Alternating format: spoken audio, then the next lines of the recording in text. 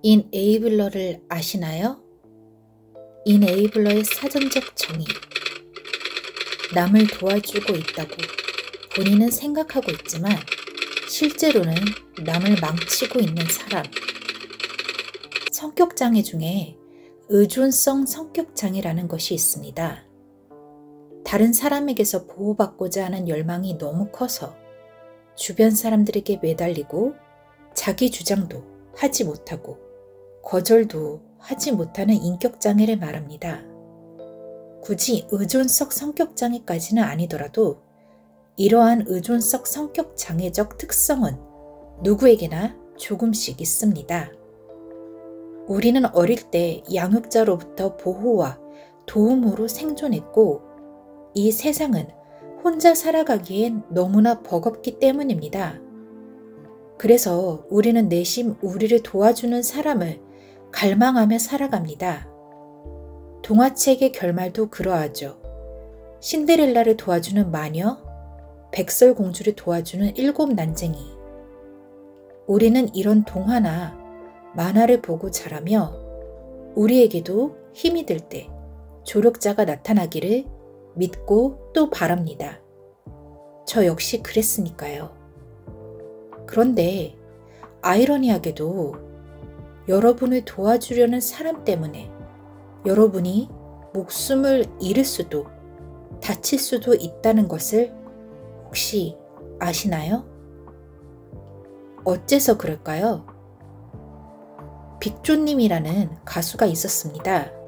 그는 고도비만이었고 하는 방송국에서는 그에게 다이어트 전문가 슐리와 함께하는 다이어트 프로그램을 제안하게 됩니다. 그 다이어트 프로그램을 통해 빅주님은 무려 150kg이라는 살을 감량하게 됩니다. 그러나 방송이 끝나고 무리한 다이어트로 인해 그의 체중은 더 늘어나게 되었고 결국 요요 현상으로 300kg이 넘어 합병증으로 사망하게 되었습니다. 물론 빅조님의 죽음이 쇼리님이나 방송사의 책임이라는 건 아닙니다. 그들은 빅조님을 도와주려고 한 사람들이죠. 하지만 방송이라는 것이 짧은 기간에 효과를 극대화해야 했기 때문에 빅조님은 무리해서 다이어트를 해야 했고 그 결과 부작용으로 더 많은 살을 찌게 된 것이었습니다. 빅조님은 중간에 프로그램을 중단할까도 생각했지만 이미 계약을 했고 시작하는 방송이었기에 유종의 미를 거두고자 그 무리를 하는 바람에 결국 안 좋은 영향을 끼친 것이었죠. 피부 질환으로 안타깝게 세상을 떠난 개그우먼 고 박지선 님도 사실은 여드름 치료를 하려다 의사의 오진으로 박피를 무려 6번이나 받고 그 부작용으로 힘들어하다 세상을 떠났습니다. 빅초님이나 박지선님이 그럴 수밖에 없었던 것은 이 두 분이 의존성 성격장애가 있어서가 아닙니다. 어느 누구에게나 일어날 수 있는 일입니다. 우리는 우리를 도와주려는 사람에게 우리에 대한 모든 권리를 맡겨버리기 쉽기 때문입니다. 빅조님의 다이어트 과정을 방송으로 만든 제작진과 다이어트 전문가 숄리님도 빅조님의 문제를 해결해 주려 하는 의도가 분명히 있었을 것입니다. 박지선님의 피부과 의사도 의도한 악행은 아니었을지 모릅니다.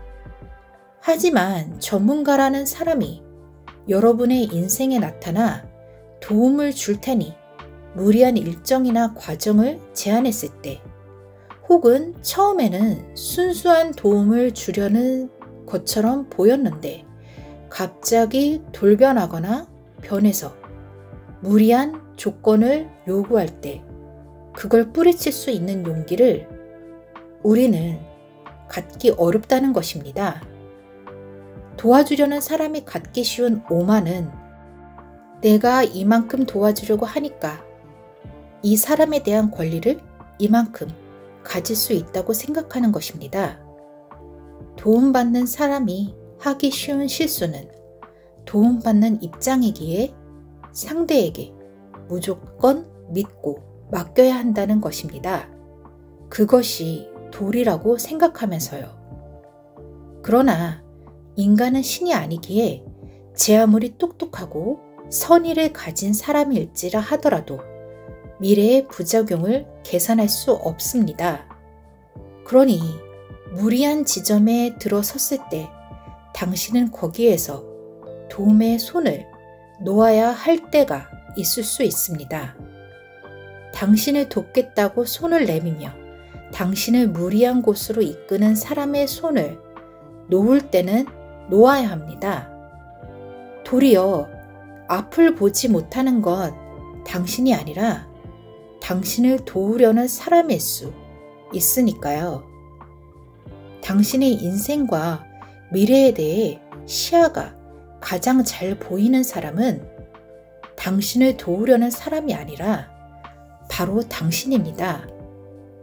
그러나 당신을 돕겠다고 나선 인에이블러가 당신의 인생을 망칠 수 있다는 걸 인에이블러가 보지 못한 진흙탕을 당신은 보고서 멈추라고 할 수 있는 유일한 권리가 있는 사람입니다. 저 사람의 의도를 생각해서 저 사람은 좋은 뜻으로 생각한 거니까에 당신의 생각을 맞추지 마세요. 남을 도와주려는 사람이 자연스럽게 갖게 되는 것이 바로 상대에 대한 권력입니다.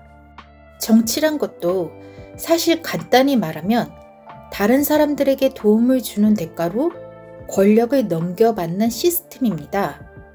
100% 권력을 상대에게 쥐어주어서는 안 됩니다. 그게 비록 당신을 도와주려는 사람이라 할지라도요. 당신이 정말 필요로 하는 사람일지라 하더라도 필요한 도움을 받고 손을 놓아야 할 때는 놓아야 합니다. 도움을 받고 배신하라거나 무시하라는 것이 아닙니다.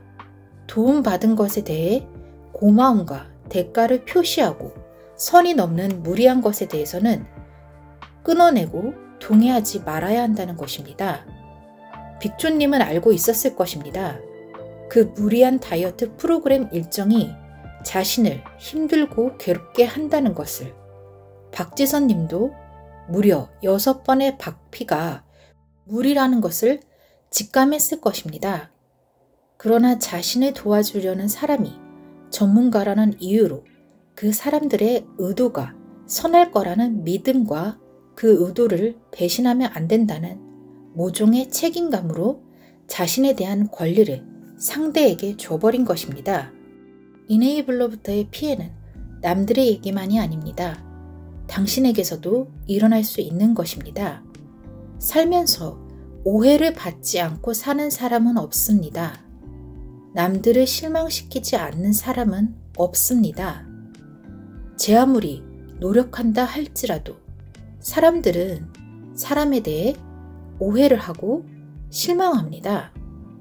고마운 걸 모른다는 평가도 받을 수 있습니다. 그러나 지켜야 할 것은 상대의 기분이 아니라 당신의 인생일 것입니다. 당신을 도와준다는 사람이 당신에게 무리한 조건을 내걸었을 때 부디 받아들이지 마세요. 당신은 당신 인생의 관리자이자 유일한 권력자이며 하나뿐인 보호자입니다. 당신의 지금 그 남을 헤아리려는 마음은 당신의 인생에서 서서히 밝혀지고 보여줘야 하는 것이지 지금 당장 상대의 기분을 맞춰줘야 하는 의무는 아닙니다. 남들의 선의에 맞춰 살지 말고 당신의 선의를 믿고 당신의 현명함을 믿으며 부디 타인에게 인생을 맡기지 마세요. 인에이블러 남을 도와주고 있다고 본인은 생각하지만 실제로는 남을 망치고 있는 그 사람을 경계하세요. 여기까지 스토리텔러였습니다.